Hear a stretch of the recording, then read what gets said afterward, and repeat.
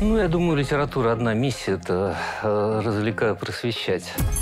Я думаю, что литература э, всерьез э, изменить, поправить мир э, мгновенно буквально не может, но э, просто по мере накопления какого-то знания, просвещения и так далее, вот она таким образом меняет мир. Человек – это в том числе и количество прочитанных им книг во многом.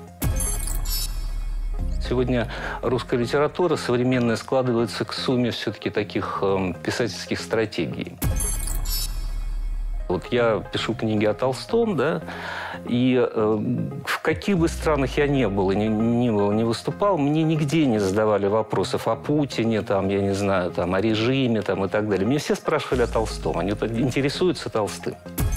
Но я точно знаю, что во Франции нигде, ни в одной стране мира столько не переводят современной русской прозы, по крайней мере, э, чем во Франции. Ну, все.